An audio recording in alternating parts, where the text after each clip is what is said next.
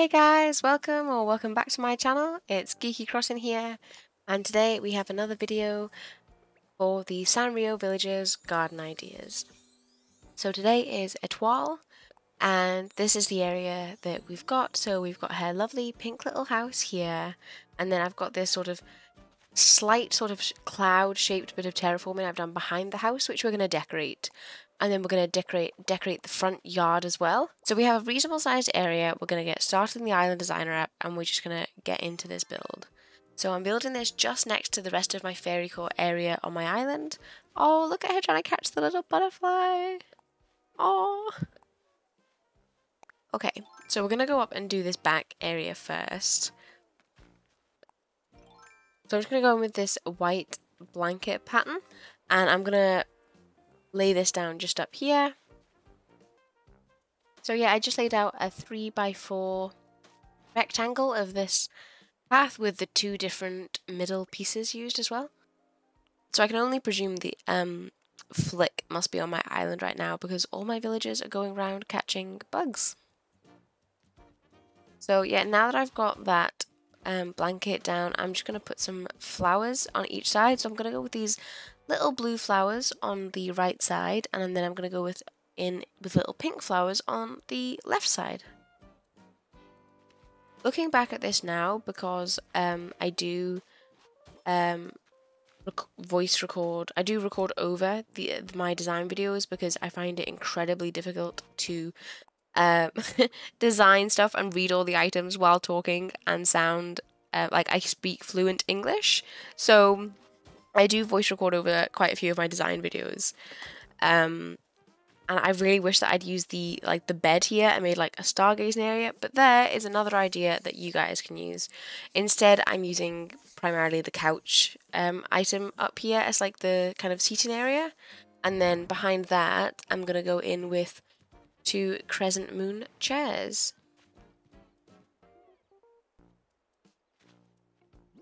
So as you can see there, there was a little cut where I went and grabbed said Crescent Moon chairs. So again, I'm just going to use the blue on one side and pink on the other. So yeah, the main colours for this are blue, white, pink with little bits of yellow here and there. And that's the main colour scheme for this build, so sort of like just um, traditional fairy core and little twin stars colours. So yeah, I'm just trying to get these crescent moon chairs positioned correctly behind the couch where I want them. Um, it's a little bit of a struggle. I probably should have placed them down before I put the couch down, but you know. So I'm liking the basic shape of that. So once I got those positioned correctly, I'm now just uh, to run round so I can work on the front again. So this bit up here is going to be quite symmetrical compared to the rest of it. So I decided that here I would use the opposite colours for the Nova Lights. So I would use the sort of purple on the blue side and the um, blue on the purple side. So yeah, I like how that looks, so I'm just going to continue working and putting down the items around here. So I'm just going to push the couch back to give myself a little bit more space, because I don't necessarily want the Crescent Moon chairs to be used as seats, but as decoration instead. So now I'm just going to go down and place this Kiki and Lala table in front of the couch. And I think this is really cute, but I don't really like that it's being totally hidden by the house. Um, but I'm just going to keep working on other stuff now and see what else I'm going to be putting around. So I did grab these Cinnamoroll tables and I use these in my My Melody build as well because I really, really like these and I think they work with a lot of the uh, different furniture sets for the Sanrio characters. And then on the edges, I'm going to use mermaid lamps on both sides because, again, I think this goes quite well with the Kiki and Lala couch and furniture as well as the other Sanrio stuff because of the design and the colour scheme. So now I'm just going to place items on these tables. So I'm just going to put the pink cake on one side and the blue tea cozy on the other. Again, just keeping that sort of blue and pink theme going on. And I'm quite liking it. I think it's coming out really, really cute already if I do say so myself. And I'm going to put a star clock on this table here because I think it looks really cute. So I went ahead and built up this cliff here so I could place down the Kiki and Lala Cloud Maker behind the Crescent Moon chairs. So yeah, I'm just dragging this so it's um, central behind the Crescent Moon chairs. And then I can climb down and destroy the uh, building around, destroy the cliffs around this to get it back to um, a similar or the same shape that I had before.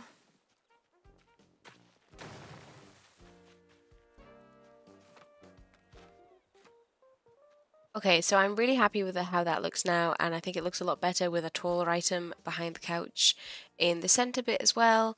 So I'm just going to go ahead and place down these butterfly models on either side. So again, I picked up like a pink one and one that featured more blue on it. And then I decided I just wanted those lamps just pulled slightly out from the very edge and um, yeah, so I'm super, super pleased with this. I think it's looking really, really good. And I think it looks super fairy core and super magical. And I would love to chill out up here. I would love it. I love it if I could have like a little area like that in real life. I think it was amazing. So um, I'm just gonna get down now and this isn't actually going to be like an accessible area on my island. It will be like aesthetic only, but that's mainly because of the um, small area that I had. I think if I'd had a bigger area, I would link it in more with my island so I could access it as a seating area. So yeah, I'm just going to start on this area down at the bottom now, and I'm going to go in with these white bricks that I've been using in my fairy core builds.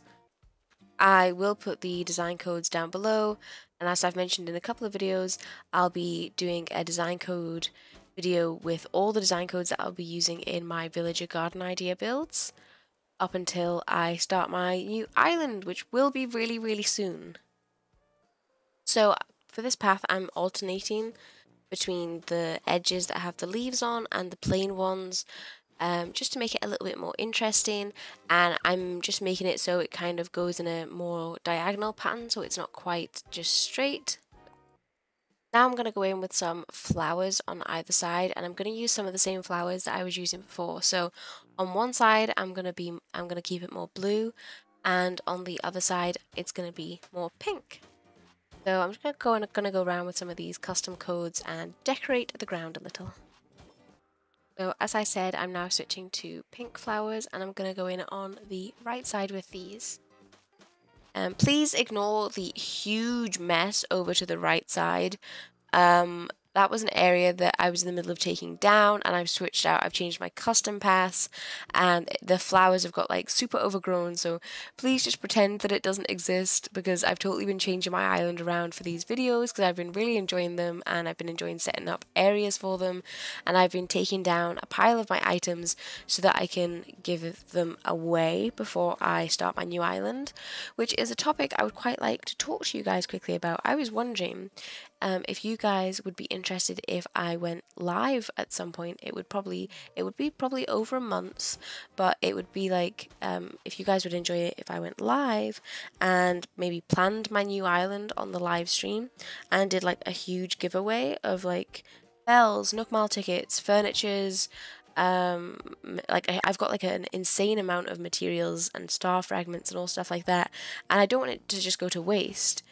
Um but i don't know um if it would be worth it. So, you know, let me know in the comments if that's something that you would be interested in and if you think that would be a good idea. And if so, I'll have a little think about how I would do it.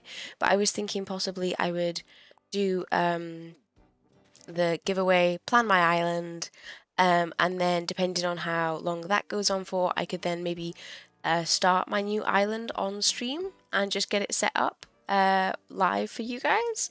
So let me know down in the comments what you think about that. I'll probably talk about this in a couple of other videos over the next couple of weeks as I get closer to wanting to start my new island. So yeah, we will go back to this now. So I have planted a couple of flowers around and um, I'm now looking at items. So I've got a collection of blue and pink versions of things. So again, I'm keeping the left side blue and the right side pink. So I've got the cute sofas in blue and pink, obviously. So I'm just going to place these on either side and I'm just going to get some of the items down and then I'll work around arranging them a little bit better, I think. So as you can see, I've skipped forward quite a bit here. I've planted a couple more trees around and I've got a couple more items to work with. And so I've skipped those to really early in the morning because I quite like this time of day. So over here, I'm just going to now um, position this couch. So I'm going to move it up a little bit. And then I was going to place the table here. And then I decided that I was going to turn the couch around because I just prefer couches facing this way so that you can get a cute picture sat on them. So I'm just going to put it slightly under that cherry blossom tree because I'm doing this in April. And I'm going to place down a pink cute table next to it. And I'm going to put the blue cute table next to the blue couch. I really like the cute range of furniture in Animal Crossing. I think it's really, really sweet and, as the name says, super cute. And I really do like the couches and I think they look really, really sweet outdoors. So I'm just placing down, um, I've, I've got like a mixture of blue and pink little items to place on the tables and things. So for the blue side, I picked up this little blue coffee cup. And I've got a pink one for the pink side. So I'm just going to go and place that down. And I'm just kind of working on both sides um, simultaneously. Just so I can work out what level of symmetry I want and things like that. Because I don't want them to be the exact same, because obviously I don't even I don't have the same space to work with, but I do want the items um, to be quite similar on both sides. So I'm going to go around and plant a couple more flowers and I'm mainly using hyacinths because I think they look really really good in fairy core builds and I just think they're, they're well they're definitely my favourite flowers in the game. The blue, pink and white hyacinths I think are just absolutely gorgeous and then whenever I work on a fall area I love using the yellow, orange and red ones as well. So yeah, I'm a big hyacinth stan. So I'm quite pleased with how this looks so far. I have also planted a couple more trees around um, mainly just to distract you from the mess that is further to the right of them. And now I'm just going to move some of the furniture around because I really wanted to place um, the kids' tents down. So, as you can expect, I got a pink one and a blue one. Um, and I'm, I think these look really, really cute. And because this is like nighttime build and it's like, you know, stargazing and um, things like that. I wanted to kind of demonstrate that a bit further with the tents and things. Um, as you can see, I've also decorated um, the bit, the little bit of cliff, the messy cliff to the left, just with some flowers and a bit of mermaid fencing so it ties in with the colours and things. And I've just used a mixture of all different blue and pink flowers with a couple of yellow ones thrown in, just like the accents on the little twin stars, um, like accessory and the couch and things like that. So as you can see, I picked up like a blue potted plant for the left side, and as I'm sure you've guessed, I picked up a pink one for the right side. I just picked a different plant as well. I didn't want the items to be too similar, and I also didn't have a pink version of the potted plant. So I do have one of my um, resident houses totally blocking some of this build, which is um, a little bit annoying, but it doesn't it doesn't interfere in the pictures or the build or anything, and I'm gonna move it um, in the future. So I've put that blue chair uh, there and I'm just going to move it up a little bit so it's right next to the tent. And then on this side, I'm just going to put the pink chair uh, over here under the tree. And then I'm also going to um, see if I can maybe build a little bit more mermaid fencing just for the background of stuff to give the build a little bit more dimension and also uh, have the colours continuously fitting in throughout it. And I really, I've never used the mermaid fence in a build before, but I think it works with the little twin stars stuff because it's got the pink and the blue on it. Um, and I think it's got little bits of yellow on as well, which is really, really sweet. Yeah, I find the mermaid fencing quite often looks really, really awkward in a lot of builds. Uh, well, whenever I've tried it, I think it looks a little bit awkward. Um, and I don't tend to get on very well with it. So yeah, I'm just building this out to there for photos and things and accidentally exposing a bit more of my horrible mess to the right. There's Rilla just walking around. I don't like Rilla. She doesn't, she, she's not awful, but she's not my favourite. So yeah, as you can see, I've added a little bit more fence to the um, closest to the camera as well. So I decided that I would I wanted the tent to be kind of nestled into the cliff a little bit more. So I'm just going to move this round and then I'm going to pick up the chair and just take that so it's next to the tent. And then I also put the Kiki and Lala Cloud Maker up here because I think it's adorable and it's I think it it's definitely my favorite item in the furniture range. Although this sofa is pretty awesome too. To be honest, I don't know why I d I didn't leave it there. It looked pretty cute. So I'm going to try the sofa here and see what that looks like. And I think that looks pretty cute, kind of making like a bigger area up here because there was quite a bit of empty space. So I'm quite pleased with the way that looks now. Um, it kind of makes it a bit more going, makes it so there's a bit more going on. Yeah, so I am really, really happy with the way this looks. So I'm going to go ahead and take some aesthetic shots for you guys and show you what it looks like. Um, I hope you guys liked this one. I always love doing a fairy core build as pink is my pink and blue are my favorite colors. So this was really up my street.